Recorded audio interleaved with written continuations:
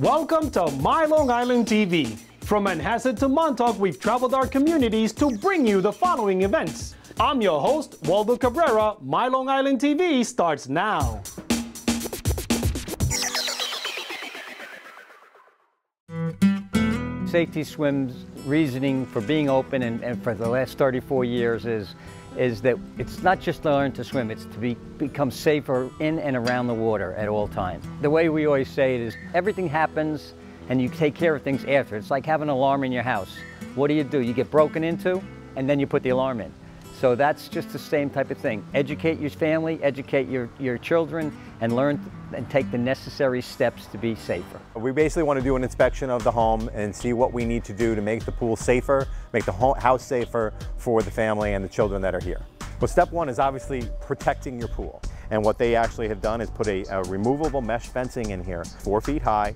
And the most important thing is that it has a, an entry point, which is what we call a self-closing, self-latching gate. You pull it up, you pull out towards you, and then you walk through it, and it closes automatically behind you. If a child were to take a chair, they will try to put the chair here, and they're gonna wanna try to lift up on it. They, they're quick learners, and they're gonna wanna try to get it, but look, they can't if this is in the way and it's opening outward.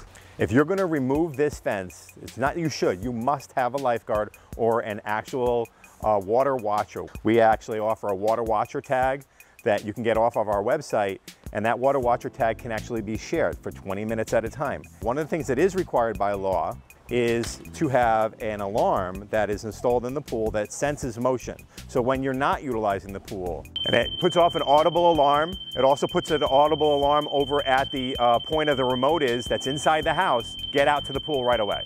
You never want to jump in after somebody that's in, in, need of help because instead of having one person possibly in trouble, you could have two or more in trouble. You want to either throw something that can float that somebody can grab onto or you could reach something to them. One of the life rings that we actually recommend would be one that has actually a rope on it. So we'd put the end in with it has the buoy on it and you would step on it and then you would throw this out you're gonna either sit down or lay down on your tummy and pull it in until they get to the side. And then we make sure we grab their hand, and make sure they hold on to the wall until help gets here. All right, I could take that ball, I could throw that and float until help comes. You could do two things with a pool noodle. I could throw the pool noodle out and it's gonna float, or we could actually use this as an item that you could reach to pull them in, let them grab onto it and pull them back to the side and hold onto the side that way. Life jackets are for people that do not know how to swim in a pool, in a lake, any kind of body of water, but they also can be used as a rescue piece of equipment. We all have the skimmers that we use to clean leaves out with, and we can grab that, that potential victim and pull them in.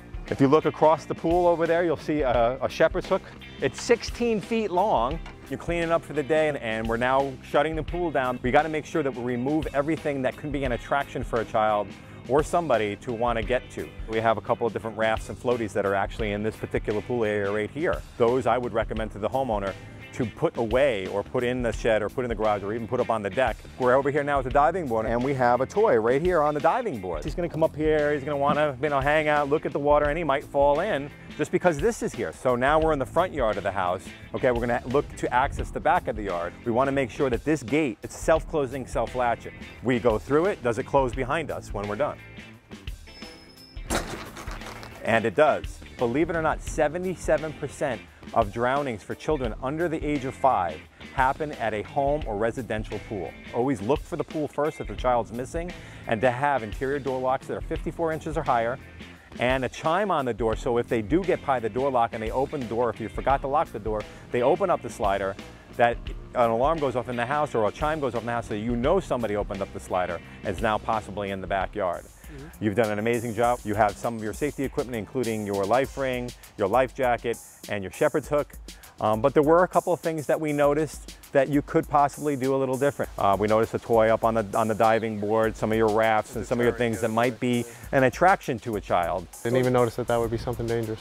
Um, but we do try to keep them, we put the, the swimmies on them when they're out here. We try to stay around them at all times when they're in the backyard, but never know. That's why we do all this. I got the fence, got an alarm, as much as I could.